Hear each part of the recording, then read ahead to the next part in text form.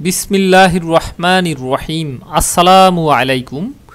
Adjective সম্পর্কে আজকে আমি তোমাদেরকে এমন কিছু ধারণা দেব যেগুলো সাধারণ বই পুস্তকে নেই, বাট তোমার পরীক্ষার জন্য অত্যন্ত গুরুত্বপূর্ণ। বন্ধুরা, এই ভিডিওটি দেখার পরে হয়তোবা তুমি আফসোস করে বলবে যে এইভাবে কেন আগে শিখলাম না? যদি শিখতাম, তাহলে আমার অ্যাজেকটিভের একটি মার্কও হাতছাড়া হতো না।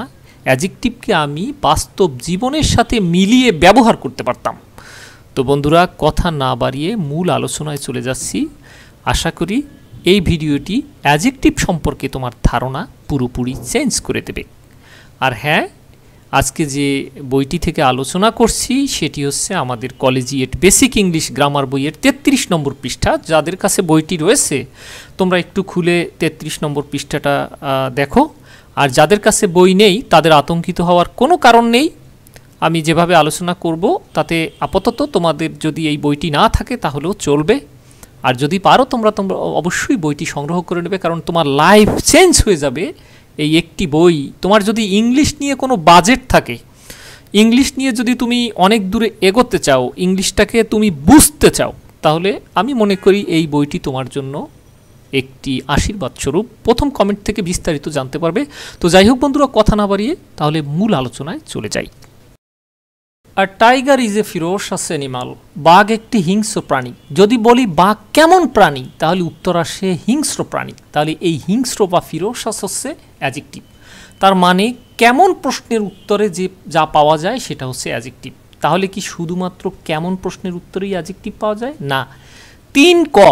তিন কর মধ্যে কেমন প্রশ্নের উত্তরে অ্যাজেক্টিভ পাওয়া যায়? কত সংখ্যক প্রশ্নের উত্তরে অ্যাজেক্টিভ পাওয়া যায়?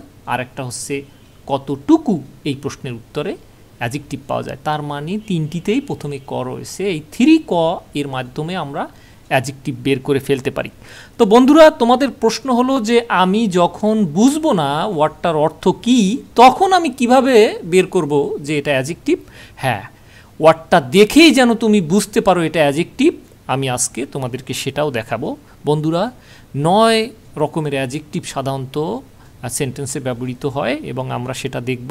আর এটাও জানব যে কীভাবে একটা ওয়ার্ডের অর্থ না জেনেও আমি সেটাকে আইডেন্টিফাই করতে পারি যেটা অ্যাজেক্টিভ কেন আইডেন্টিফাই করতে হবে এটা অ্যাজেক্টিভ কারণ আমি জানি যে যখন দেখব যে নাউনের আগে শূন্যস্থান রয়েছে, তখন তুমি সবচেয়ে প্রথম যে সন্দেহটা করবে সেটা হচ্ছে যে এখানে একটা অ্যাজেক্টিভ হতে পারে।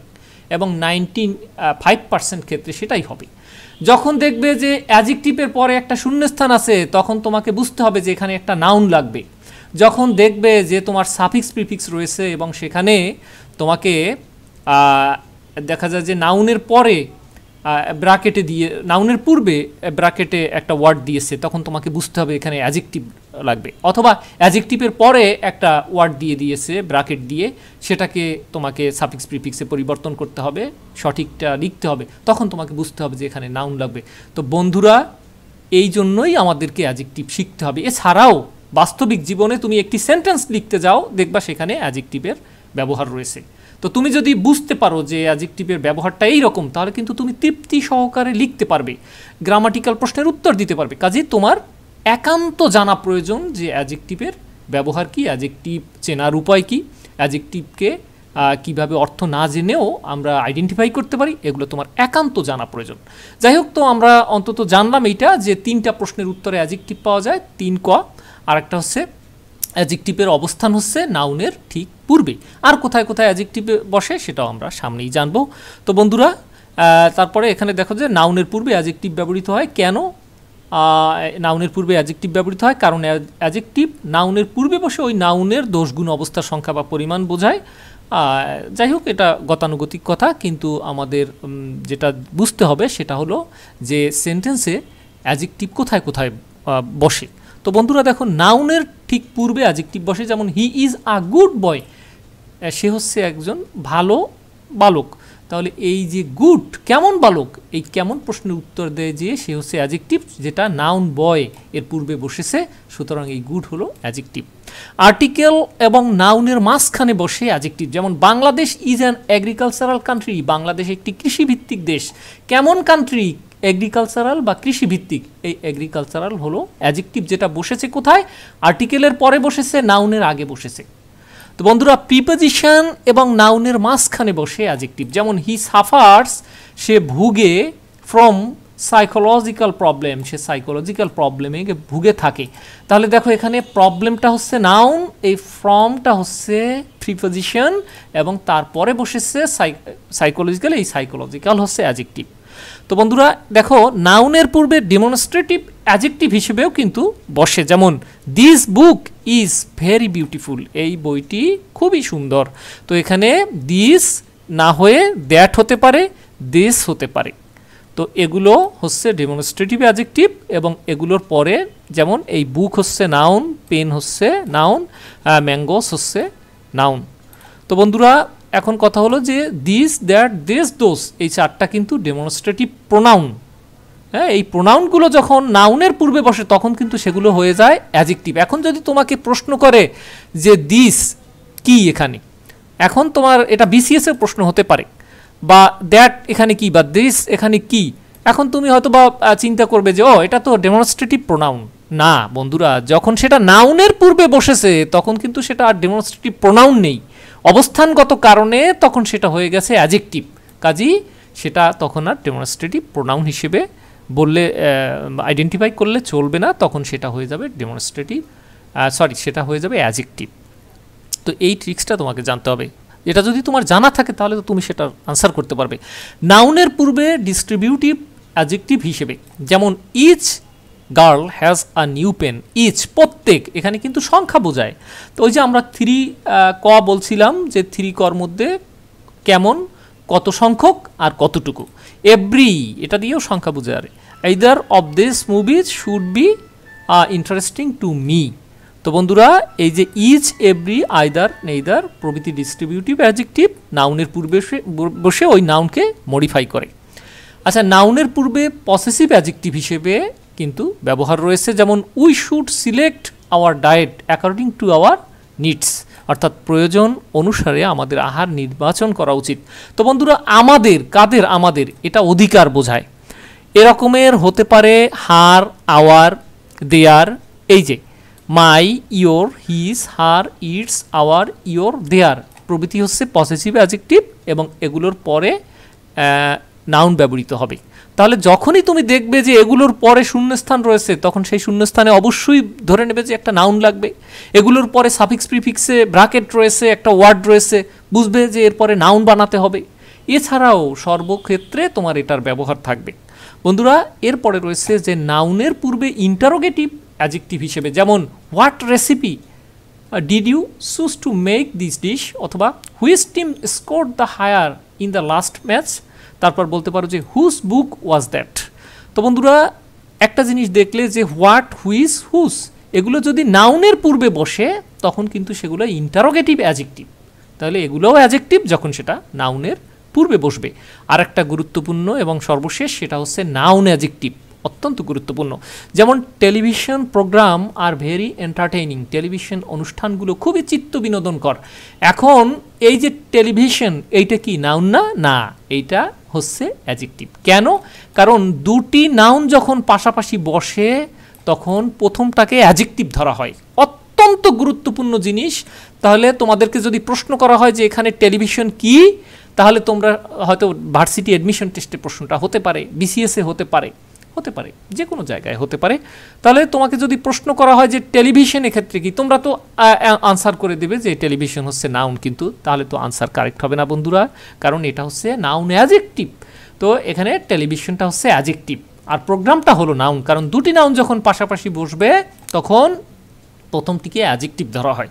The sea level is rising and many parts of the world is going to engulfed by the sea in near future অর্থাৎ হচ্ছে সামুদ্রিক স্তর ক্রমবর্ধমান এবং বিশ্বের অনেক অংশ অদূর ভবিষ্যতে সমুদ্রের দ্বারা গ্রাস হতে যাচ্ছে। তাহলে এই সি লেভেল এখানে সি হচ্ছে অ্যাজেক্টিভ এবং লেভেল হচ্ছে নাউন তো বন্ধুরা, এবার আমরা জানব যে একটি ওয়ার্ডকে দেখেই আমি কীভাবে আইডেন্টিফাই করব যে সেটা অ্যাজেক্টিভ এবং আমরা জানব যে কীভাবে অ্যাজেক্টিভ বানাতে হয়। দেখা যাচ্ছে যে একটা ওয়ার্ড দিয়ে দিয়েছি এগ্রিকালচার এখন তোমাকে সেটাকে অ্যাজেক্টিভ বানাতে হবে। তাহলে তুমি সেটাকে অ্যাগ্রিকালচারাল বানাবে। তা আর কি কি, কীভাবে অ্যাজেক্টিভ গঠন করে? এবার আমরা সেটা জানব। এ পর্যন্ত আমরা যা শিখলাম, তার সবচেয়ে গুরুত্বপূর্ণ পার্ট হচ্ছে এই পার্টটা তো বন্ধুরা, যখন দেখবে যে একটি ওয়ার্ডের শেষে এ এল রয়েছে আইসি রয়েছে আইএসএস রয়েছে আইডি রয়েছে আইএলই রয়েছে, তখন ধরে নেবে যে এই ওয়ার্ডটা সাধারণত অ্যাজেক্টিভ বন্ধুরা, এটা তোমরা একেবারে মুখস্থ করে ফেলবে। যদি মুখস্থ করো, তাহলে তোমরা অনেক বেনিফিট পাবে কিন্তু এখান থেকে। অ্যাজেক্টিভ যদি পুরো গ্রামারকে আমি বুঝতে চাই, তাহলে অ্যাজেক্টিভ দখল করে আসছে সিক্সটি পার্সেন্ট জায়গা। তো বন্ধুরা, অনেক বেশি জায়গা দখল করে আছে এই অ্যাজেক্টিভ যখন, তাহলে ফ্যাটাল মারাত্মক বেসিক সেলফিশ কেমন সেলফিশ কেমন মৌলিক? দেখো, প্রত্যেকটা কেমন প্রশ্নের উত্তর দিচ্ছে। ফ্যাটাল মারাত্মক, কেমন? ফ্যাটাল মারাত্মক বেসিক কেমন বেসিক সেলফিশ স্বার্থপর, কেমন স্বার্থপর? লুসিড শস্য ফার্টিল উর্বর, কেমন? উর্বর।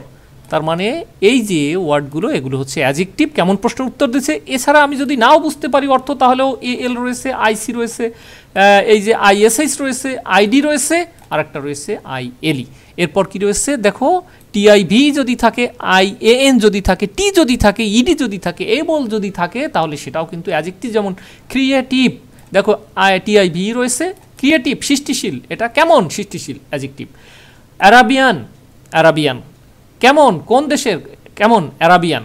ওকে কেমন কান্ট্রি অ্যারাবিয়ান কান্ট্রি ইম্পর্ট্যান্ট গুরুত্বপূর্ণ। কেমন? গুরুত্বপূর্ণ। টি রয়েছে লাস্টে দেখো লার্নড লার্নার্ট সরি লার্নড আচ্ছা। তারপর রয়েছে ড্রিঙ্কেবল আচ্ছা ফুল, লেস, ওয়াই, আর ওয়াই এবং ওই ওয়েজ যদি থাকে, তাহলে সে ওয়ার্ডটা অর্থ না জানা সত্ত্বেও কিন্তু আমি দেখে বলে দিতে পারব যে এটা অ্যাজেক্টিভ বন্ধুরা হয়তো বা কিছু ব্যতিক্রম রয়েছে। তোমরা হয়তো বলবে যে এই ফুল থাকা সত্ত্বেও ওয়ার্ডটা হয়তো অ্যাজেক্টিভ হয়নি। বন্ধুরা, এর ব্যবহার, আসলে এগুলো সব কিছুরই ব্যতিক্রম তোমরা পাবে, কিন্তু তার সংখ্যা কত? এক পার্সেন্ট এক পার্সেন্ট তো তোমার নাইনটি নাইন পার্সেন্ট এই এক পার্সেন্টের জন্য তুমি তো নাইনটি নাইন পার্সেন্ট হাতছাড়া করতে পারো না। এটাই হচ্ছে বুদ্ধিমানের কাজ যে সেই যে একটা রেয়ার কেস রয়েছে, একটা এক্সেপশন বিষয় রয়েছে, সেটাকে চিন্তা না করে যেটা আসলে সবচেয়ে বহুল ব্যবহার রয়েছে, সেটা তোমাদের চিন্তা করা উচিত। ফেথফুল হেল্পলেস কেমন হেল্পলেস অসহায়, এটা অ্যাজেক্টিভ নিডি নিড থেকে নিডি নেসেসারি নেসেসিটি নেসেসারি কিন্তু এটা হচ্ছে অ্যাজেক্টিভ কিন্তু তোমাকে যদি নাউন বানাতে বলে, তাহলে নেসেসিটি ডেঞ্জার বিপদ। কিন্তু যদি বলি ডেঞ্জারাস তাহলে বিপদজনক এটা হচ্ছে অ্যাজেক্টিভ সুতরাং বন্ধুরা, এভাবে করে আমরা কিন্তু অ্যাজেক্টিভ বানাতে পারি। এই যে বললাম যে যেমন এই যে বললাম ডেঞ্জার থেকে ডেঞ্জারাস ইম্পর্ট্যান্ট তারপর ক্রিয়েট থেকে ক্রিয়েটিভ অ্যাজেক্টিভ আমরা বানিয়ে ফেলতে পারি। ফেইথ থেকে ফেইথফুল বিশ্বস্ত, কেমন? হেল্প থেকে হেল্পলেস বা হেল্পফুল বানিয়ে ফেলতে পারি। নিড থেকে নিডি ওয়াই যুক্ত করে অ্যাজেক্টিভ বানিয়ে ফেলতে পারি। এবং এই ওয়ার্ডগুলো যদি শেষে থাকে, তাহলে সেটা নাইনটি এইট পার্সেন্ট ক্ষেত্রেই হচ্ছে অ্যাজেক্টিভ তো বন্ধুরা, আমরা জানলাম যে কীভাবে একটি ওয়ার্ডকে দেখেই বোঝা যাবে সেটা অ্যাজেক্টিভ আমরা জানলাম যে কীভাবে অ্যাজেক্টিভ বানাতে হয় আর একটি ওয়ার্ডকে কেমন কত, কতটুকু প্রশ্নের উত্তরে অ্যাজেক্টিভ পাওয়া যায়। অ্যাজেক্টিভের অবস্থান হচ্ছে সেন্টেন্সের ঠিক পূর্বে। তো বন্ধুরা, আমাদের বইগুলো, রাইটিংয়ের বই রয়েছে এবং আমাদের আজকে তেত্রিশ নম্বর পৃষ্ঠা থেকে পড়ালাম বেসিক ইংলিশ গ্রামারের। এই রকম করেই এক একটা বিষয় আলোচনা রয়েছে যেগুলো গতানুগতিক ধারার একেবারে বাইরে। এই বইগুলো যদি তুমি এবং এর ব্যাখ্যা রয়েছে, আমি সামনে দেখাবো তোমাদেরকে, সেই ব্যাখ্যা যদি তুমি পড়ো তাহলে বুঝতে পারবে। বইগুলো অবশ্যই তোমরা সংগ্রহ করে নেবে। একটা বইয়ের দাম এক লাখ টাকা দিয়ে যদি কেউ কেনে, তাহলেও তার কোনো লস হবে না। কারণ এইভাবে করে বইগুলো লেখা হয়েছে। যদিও এক লক্ষ টাকা নয়, মাত্র চারশো বিশ টাকা বেসিক ইংলিশ গ্রামার বইটা। আর এছাড়াও আমাদের রাইটিংয়ের বই রয়েছে, সেই বইটাও তোমাদের খুবই কাজে আসবে। রাইটিংয়ের কলাকৌশল রয়েছে। এছাড়া তোমরা যারা এসএস এই আজকের ভিডিওটি class eight nine SSC HSC এবং যারা গ্রামার শিখতে আগ্রহী বিসিএস পর্যন্ত সবার জন্যই কাজে লাগবে। আর বইগুলো সবার জন্য শুধুমাত্র এসএসসি ইংলিশ মডেল কোয়েশ্চেন বইটা শুধুমাত্র এসএসসিদের জন্য। তো চাইলে তোমরা সে বইটিও সংগ্রহ করতে পারো। বিগত বছরের বোর্ড প্রশ্নের ব্যাখ্যা ভিত্তিক বিশ্লেষণ রয়েছে। আল্লাহ হাফেজ।